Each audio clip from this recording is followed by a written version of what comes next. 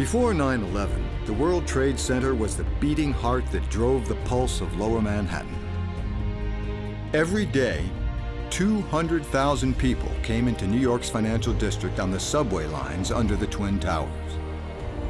When the towers fell, three subway stations were crushed, and three vital commuter arteries were severed.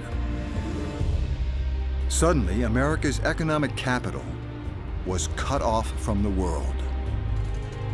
Now, a new station is filling the void at Ground Zero. When its construction is finished, it will be a soaring gateway that marks a grand entrance to a new city.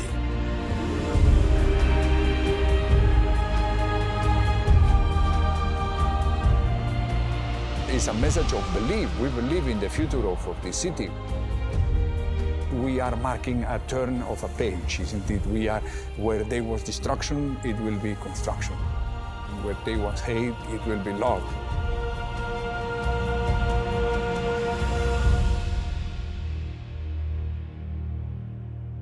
The new transportation hub was designed by Santiago Calatrava, a world-renowned sculptor, artist, engineer, and architect.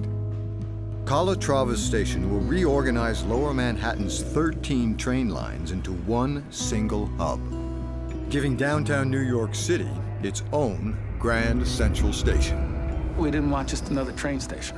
We wanted to send a message about openness and light and confidence and bringing things together in a way that had never happened in Lower Manhattan before. The new World Trade Center Transportation Hub is made up of two interconnected main halls.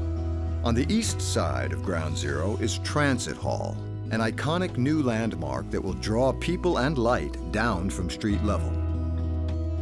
This building won't be complete until 2014. But the other half of the station, Path Hall, has to be built by 9-11-11. Path Hall sits directly beneath the Memorial Plaza, which is set to open to the world on the 10th anniversary.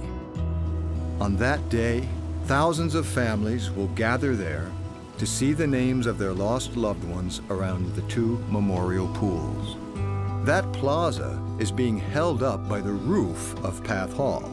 So until it is built, these families will have no floor to stand on. It's a place that has so much meaning for so many people, um, particularly because 3,000 people lost their lives, and half of those people were never um, found. Anthula Katsimatidis lost her brother, John, on 9 11. He was in the North Tower when the buildings collapsed. John's name will be one of those displayed on the North Memorial Pool. To see it, Anthula and her family will need to stand directly above Path Hall's roof. For families, particularly who have not had anything given to them, it is ultimately all we have is to visit that memorial